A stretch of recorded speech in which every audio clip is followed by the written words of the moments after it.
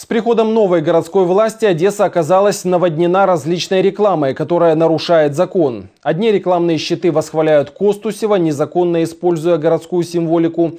Другие просто поражают своей наглостью и аморальностью. О рекламе, которая не останавливается ни перед чем ради завлечения клиента, далее в сюжете. На пересечении улиц Дворянской и Елисаветинской расположилась будка, торгующая шаурмой. Основная клиентура – голодные студенты, которые вряд ли будут требовать от этого фастфуда качества. Этим и пользуются недобросовестные торговцы, не имея никаких разрешительных документов на свою деятельность. Не пользуйтесь подобными э, видами торговли, потому что вы не знаете, кому вы потом предъявите претензии, как и в данном случае. Мы не видим субъекта хозяйствования. Мы не видим его наименования, мы не видим свидетельства о госрегистрации. О каких можно говорить вообще документах о качестве и безопасности данной продукции. Сложившуюся ситуацию усугубляет тот факт, что в рекламе использован образ Майкла Джексона, звезды планетарного масштаба. Более того, музыкант является культовой персоной для многих одесситов, и такое извращение над образом певца абсолютно аморально.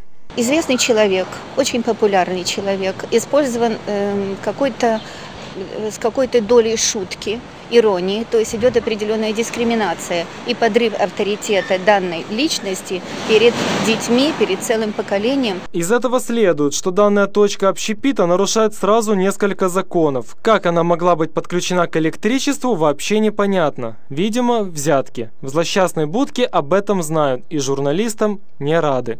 Вы нам предъявите документы, разрешающие тут да я не торговлю? знаю, вот он прицепился ко мне с документами проверяющими. Пускайте на поддержит.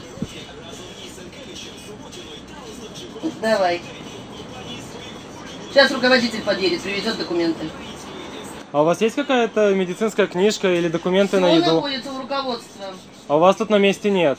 Нет, все находится у руководства. А- Сейчас приедут, привезут вам. Хорошо, а как тогда узнать о качестве продукции на месте? Каким образом? Я вам говорю, сейчас подъедут, все привезут вам. Но никто с документами так и не появился. На кого направлена данная реклама, непонятно. Ведь поблизости находятся два высших учебных заведения. И студенты вовсе не в восторге от издевательства над музыкантом. Это ужасная реклама, вообще просто ужасно. Нам вообще противно смотреть на это. Ну, потому что это все-таки Майкл Джексон, это как бы звезда, и ставить его на рекламу шаурмы, это вообще это беспардонно, я считаю. В 2009 году в Одессе возле входа в один из ресторанов был размещен билборд с Ангелой Меркель в роли шаурмиста. Шутки шутками, но данный рекламный объект действительно мог вызвать нешуточный гнев немцев. Правда, городская власть работала оперативно. Был наложен солидный штраф на заведение, а позорная реклама была убрана. Власть сменилась, и нынешнему горсовету, видимо, плевать на моральный облик нашего города. Денис Соколов, Руслан Акаев, телекомпания «Круг».